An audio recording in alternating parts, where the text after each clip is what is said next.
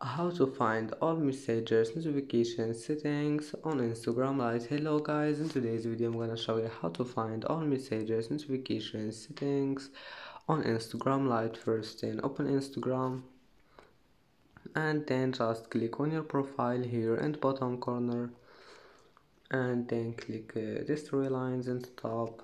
Now settings. Here you will find notifications and then just select here uh, direct messages and calls. And as you see here you will find that messages now just uh, you can turn it off or on just with one click and that's it. Uh, that's how to find messages notification settings. And that's it for today's video. Don't forget like and don't forget subscribe. And thank you for watching this video until the end and see you in the next video